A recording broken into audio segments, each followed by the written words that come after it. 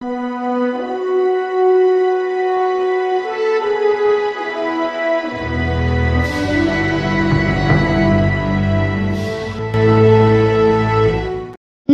દર્શક મિત્રો, તમે જોઈ રહ્યા છો નવસારી લાઈવ સ્વાગત છે તમારું અમારા ખાસ અહેવાલ નવસારી ક્રાઇમ રિપોર્ટમાં જેમાં નવસારીમાં થયેલ ગુનાઓ અને અકસ્માતો વિશે અમે તમને વિગતવાર માહિતી આપીશું. તો શરૂઆત કરીએ, નવસારીના શાંતાદેવી રોડ ખાતે રહેતી એક યુવા પરિણીતા ગુમ થયા છે.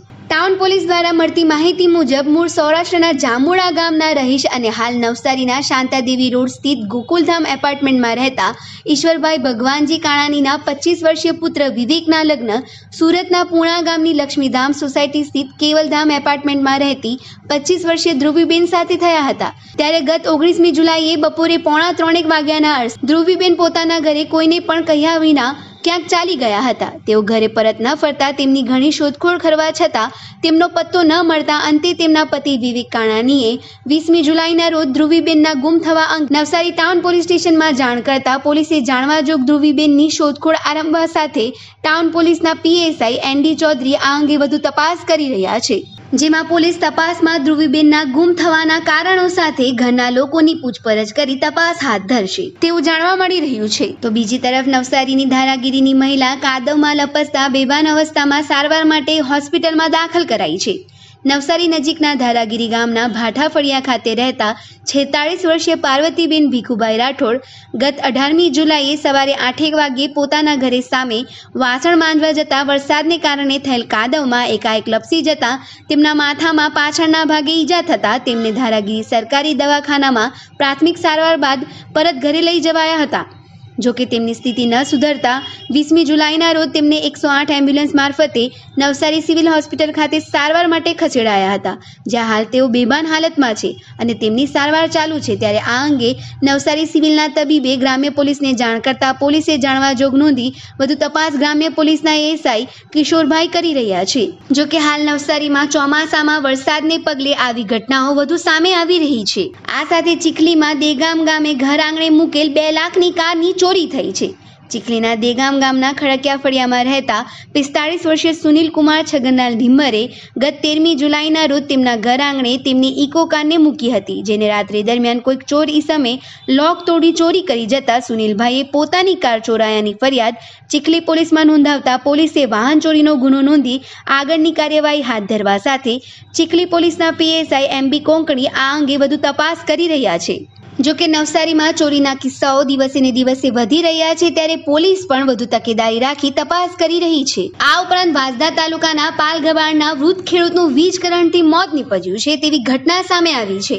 વાંસદા પોલીસ દ્વારા મળતી માહિતી મુજબ, વાંસદાના પાલગવાણ ગામે પેલાડ ફળિયામાં રહેતા સાઠ વર્ષીય ખેડૂત મગનભાઈ જીણાભાઈ પટેલ તેમના ખેતરમાં કામ કરતા હતા. તે દરમિયાન બાજુમાં આવેલ તેમના ભાઈ ગમનભાઈના ખેતરમાં આવેલ પાણીના બોરની મોટર ચાલુ કરવા જતા, સંભવિતપણે છૂટા પડી ગયેલ કોઈક વીજ વાયરને અડી જતા, વીજ કરંટ લાગતા તેમનું મૃત્યુ નીપજ્યું હતું. જે અંગે તેમના પુત્ર વિજયભાઈએ વાંસદા પોલીસને જાણ કરતા પોલીસે અકસ્માત મોતનો ગુનો નોંધી આગળની કાર્યવાહી હાથ ધરવા સાથે વાંસદા પોલીસની ઉનાઈ ચોકીના એએસઆઈ ઉકાભાઈ આ અંગે વધુ તપાસ કરી રહ્યા છે. જોકે હાલ નવસારીમાં વીજ કરંટ લાગવાના કિસ્સાઓ પણ વધી રહ્યા છે, ત્યારે ચોમાસાના કારણે આવા અકસ્માતો વધી રહ્યા છે તેવું પણ કહી શકાય. પરંતુ નવસારી પોલીસ અકસ્માતના કારણો જાણવા તપાસ કરી રહી છે. ત્યારે અકસ્માતો થવા પાછળના નવા કારણો પણ જાણવા મળી શકે તેમ છે. આ સાથે આવા તમામ પ્રકારના મહત્વના સમાચાર જાણવા માટે જોતા રહો નવસારી લાઈવ. દર્શક મિત્રો, હવે અમારી ઝટપટ ન્યૂઝ એપ લોન્ચ થઈ ચૂકી છે, જેના દ્વારા તમે નવસારી સહિત દેશ વિદેશના સમાચારો આંગળીના એક ટચ થકી તમારા ફોનની સ્ક્રીન પર જોઈ શકશો. તો રાશેની જુઓ છો, આજ જ ડાઉનલોડ કરો અમારી ઝટપટ ન્યૂઝ એપ. તો સૌ પ્રથમ ગૂગલ પ્લે સ્ટોર પર અમારી ઝટપટ ન્યૂઝ એપ સર્ચ કરો. ત્યારબાદ તમારી સ્ક્રીન પર અમારા ઝટપટ ન્યૂઝ લોગો સાથે દેખાતી એપને ડાઉનલોડ કરો.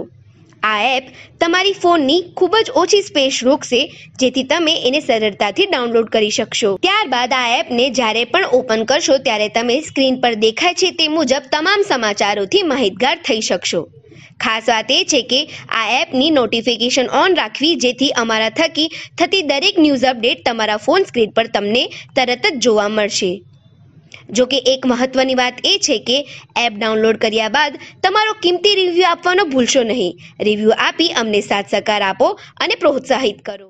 ચેનલને સબસ્ક્રાઇબ કરવા માટે અમે જેમ વિડીયોમાં બતાવીએ છીએ તેમ તમે સબસ્ક્રાઇબ બટન પર દબાવી બાજુમાં બેલ પર બટન દબાવશો અને ત્યારબાદ જો તમને આ વીડિયો ગમે તો લાઇક બટન દબાવશો. સબસ્ક્રાઇબ બટન એક જ વાર દબાવવાનું છે. એકવાર તમે દબાવો એટલે તમે સબસ્ક્રાઇબ થઈ જશો અને બાજુમાં બેલનું બટન દબાવશો એટલે તમને નોટિફિકેશન ઓન થઈ જશે. અને દરેક વીડિયો જ્યારે તમને ગમે તો એ વિડીયોને આ રીતે જે લાઇક બટન છે તે લાઇક દબાવી અમને પ્રોત્સાહિત કરશો.